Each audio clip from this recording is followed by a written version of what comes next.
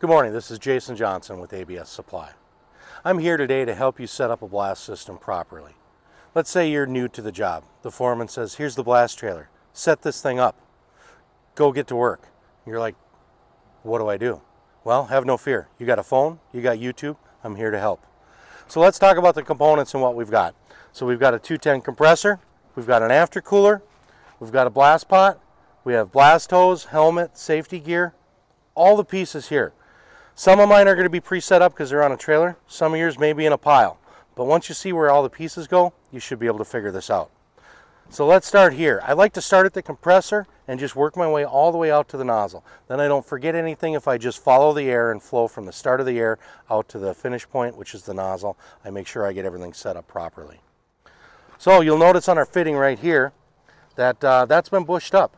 These compressors come standard with two claw fittings, like you'll see up top there no bueno for blasting. These are not acceptable. They do not flow enough air. And in fact, if we ran this air compressor on a standard two claw jackhammer hose, we would lose 10 psi with our number 5 nozzle. 10 psi equates 15% production. The production loss is 1.5% for every 1 psi. So, if you want to go 15% slower and spend 15% of more of your time blasting, use a two claw jackhammer hose like this. These should not be used for your pot. They should be used only for the, your air supply system. They are perfect for that. They are not acceptable for running a blast pot. So, now that we've got our inch and a half air hose hooked up to the compressor, and we hook it up then to our aftercooler. Aftercoolers, not mandatory, but holy cow, they almost should be. They're almost as important as the blast pot. A lot of people think that the sand is shot out of a blast pot like a cannon. It is not it falls by gravity, like sand through an hourglass. So, if I have water in my pot, what do you think that sand's going to flow like? Not well. It's a nightmare. You've got someone standing there choking it, shaking it, doing everything they can to get that stuff flowing. These things turn your blasting into a one man operation and you use less media because now you can run it lean and mean like you should be. You'll notice these whip checks. This is a 27WC15. This is a medium size. There's small, medium, and large size whip checks. These are super important for every connection. So not only is it for your safety, but it's the law. I almost lost an eye one time. I'm not kidding. I took a hose off that had pressure under it with no whip check. It came up live, smacked my hat right off my head, shot oil in my eye. I couldn't see for an hour. I thought I was going to lose my eye incredibly scary. I never want to duplicate it.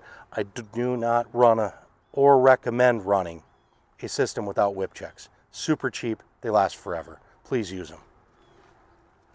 So now that we've got the aftercooler, I'm not going to plug this in right now because the fan makes a lot of noise. This way you can hear me talk better. But at the end, before we start blasting, we will hook this up and show you how it's stripping moisture out of the air. These air compressors are literally water pumps. What they do at our elevation here in Minnesota is they compress the air 8 to 1. So you take a humid day, muggy day. Actually, mornings are the worst. Like right now, when you walk through the grass and your shoes get wet, there is water everywhere. So when we condense that 8 to 1, we are actually pumping water into the pot if we do not have something to remove it. That much more important. So, let's talk downstream of the aftercooler now. We've got, this is our moisture separator. We've got a drop here for our breathing line, not for the blast hose. For this small one is breathing line, not blast. And a larger inch and a half, which is going to our blast pot. So notice, whip checks, safety clips, all hooked up properly. We've got that done. We're gonna come over to the pot. Now we are gonna hook up our system here to our breathing can. Our air system, I'll just go over briefly. This is a topic for a whole nother conversation. We have uh, a breathing canister here with the charcoal filter. It's actually a nine stage filter in there. Takes out oil, water, and odor. What it does not do is monitor for carbon monoxide, the fourth point to get grade D breathable air. That's what this yellow box over here is, the COHP from Bullard. That is carbon monoxide high pressure, COHP. That is a monitor. It will scream at 110 decibels and put out a light on a remote alarm hooked to the compressor should we exceed our 10 parts per million allowable CO levels in our breathing air. So very important for safety. We're big on safety first here. But now that we've got this hooked up, our pressure set to a minimum of 55 psi. I like it about 85 or 90 on the breathing can because that's where I start to get the max air conditioning or heating out of my climate control tube on my belt. But the legal limit for 50 feet of airline is a minimum of 55 psi, so you want to just be over that to supply enough breathable air. Now we've got this hooked up. This may look different than what you've got. We run electric controls here in Minnesota. Uh, on these cool days, it was down to 40 degrees this morning. Before long, it's going to be 20, 10, 15 at night um, when we start the day. So the, the 50 foot airlines, the 100 foot of your twin line with your dead man running all that cool compressed air with or without an aftercooler, um, there's too much opportunity for freeze up. And on these cold mornings, you're going to be stuck with a pot that's froze up, not working. Nothing more frustrating than getting 10 minutes into a job and your system fails because you got a little bit of ice in your dead man. So we run electric power lines. They are faster, more reliable, and you can also go over 100 feet of blast hose. So I don't have to move this pot around the job site. I can leave it here and just run two, three, 400 feet of blast hose to what I'm blasting. So we'll talk about that more later. Pressure regulator, we have this so that we can blast at low pressure should we. Today we're blasting big iron steel. We want to let it rip. 100 psi plus as much as we can get. So we've got this set and our grit valve is preset as far as we know. We'll get to that once we start blasting. We can adjust the knob to fine tune. We want to listen for that whistle. I'll go through that. But if you would take a break, let's walk around to the other side. I think we're ready to hook up our blast hose and our helmet safety gear and we're close to blasting this morning. Okay, so now we're ready to hook up our blast hose and get ready to get, get to work. So, we've got our two clock cupping. Notice I've got whip checks on here. That snaps into place. I've got this clip and I'm going to make sure, of course, my safety whip check. I've got my power cord. You may have a pneumatic, but it's the same, the same thing. Okay. All right. I got my power cord. This is just happens to be teed into our battery on the compressor for convenience, but otherwise I would have alligator clips. So I'm going to hook up power to my pot. So I am now have juice.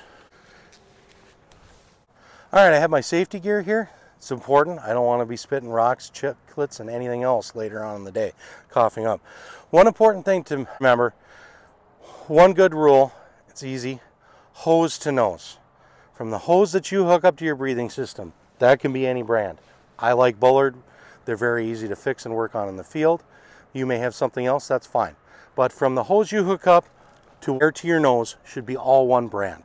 So we have Bullard breathing hose, we have a Bullard air conditioner, we have a Bullard breathing tube. It all needs to be the same brand to be compliant. So despite the fact that you're mixing and matching Nova, Bullard, Clemco, which are all certified, technically when you put them together, it is not a certified assembly. So you need to pick a brand and stick with it hose to nose. So we're going to hook this up.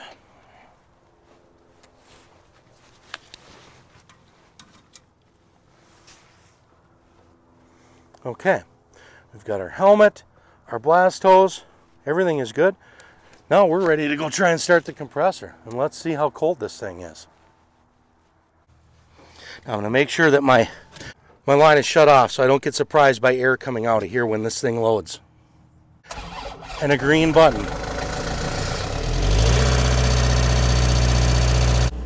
We got the compressor started had a couple minutes to warm up. We just loaded it or energized the air end. So now before I go live with any air, I want to double check all my components and make sure my ball valves are closed so I don't get surprised by something turning on automatically. So I'm going to go here to my pot. Yes, my ball valve is off. My air cannot go by here. If we come back upstream, make sure everything is connected, looks good, it's all safety clip, I'm following the air, I'm going to here, now I am ready at this point to go live and hook up my uh, aftercooler.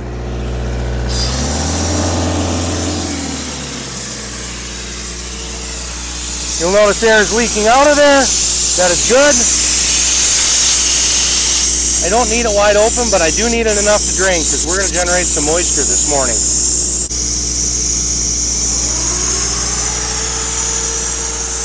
After cooler is hooked up, running, air is leaking out, but that is not wide open. Wide open draws too much air. We just don't have enough to spare. Now you can feel your hoses We're energized and lived up to the pot. I want to make sure this is a pressure hold pot. This is my exhaust. That was open. So I need to close this before I put air in or it's all going to come screaming out there. So that is closed. Now we're ready to open and it will automatically pressurize the pot.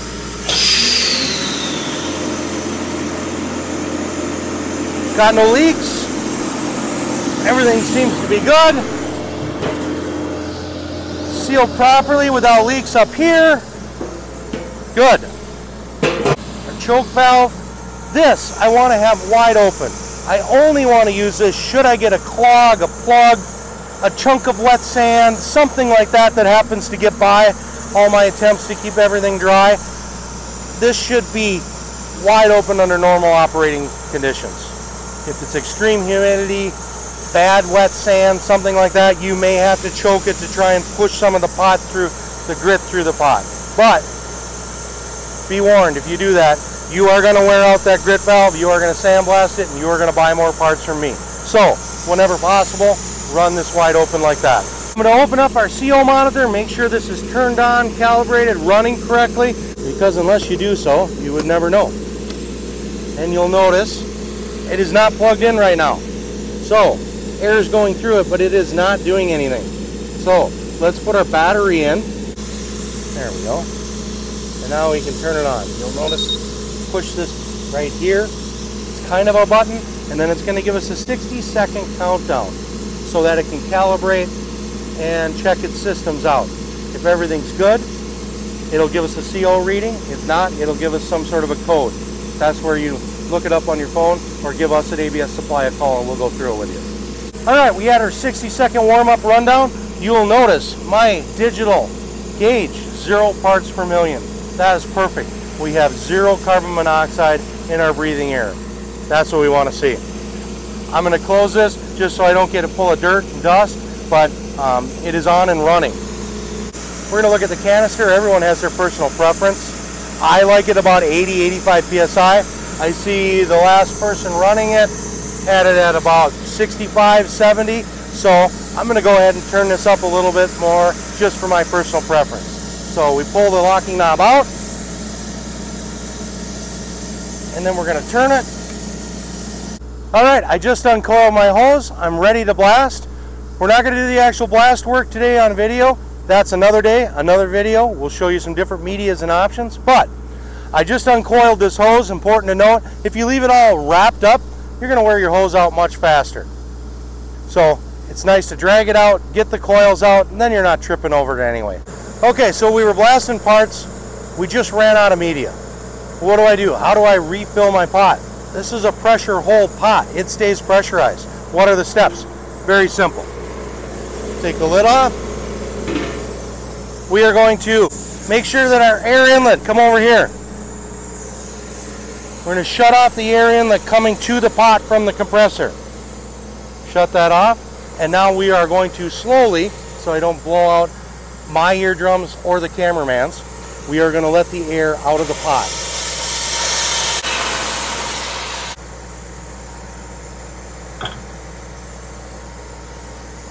Bingo. You saw the pop-up drop. The pot is now depressurized, ready to refill. Once we've got it full, oh, common question. Can I overfill the pot? No, you can't. It's designed so that if media were up to here, it's just fine. So fill her up. Go for it. Put as many bags in as you can. Now that we've got it full, we are going to make sure that we first shut off the exhaust valve. Otherwise, air just goes right through the pot and out the exhaust. And now we're going to keep our fingers free of that so we don't lose them. And we're going to turn on the air from the compressor. There you go. We just lost our lid, but we're ready to blast. This is Jason Johnson with ABS Supply. Now it's your turn to go have a blast. Hopefully this is helpful. If you had any questions on our setting up our rental trailer, or your own, give us a call at ABS Supply. Don't worry about blowing things up. It's not that big a deal. All you got to remember, air in, air out. The two ball valves on the pot. The most important two ball valves, and you'll be fine. To start blasting, first, close the exhaust valve. Second, open the air inlet valve. When you need to refill, opposite order. First close the air inlet valve to the pot, then open the exhaust valve. You'll be just fine. You got this.